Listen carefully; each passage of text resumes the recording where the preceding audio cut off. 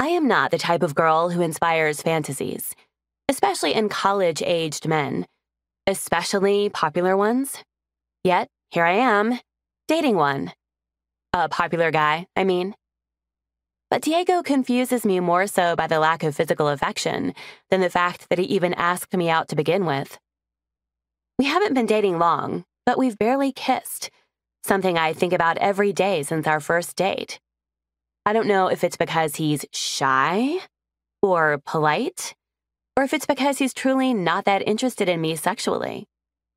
Trust me when I say, when it comes to that sort of thing, I am all for it. He doesn't need to hesitate to spare my sensibilities, or however you want to put it. My parents always taught me that physical affection is one of the most important forms of love you can show your partner. So, I'm not sure why Diego isn't showing it to me if he liked me. Confession number one. It would be accurate to say I'm dating my boyfriend because he was the only guy who asked me out so far this year. Worse, half of that reason was because he plays football for the university, and I knew I wouldn't have to see him all that much.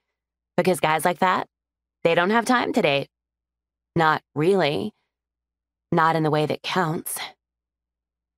I stare at my reflection in the mirror before pulling my hair back into a ponytail which is the same style I wear it in for work.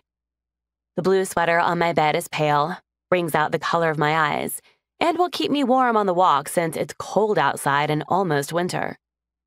Cute bra, as usual. Conservative underwear. Not that anyone is going to see them. A shame, really.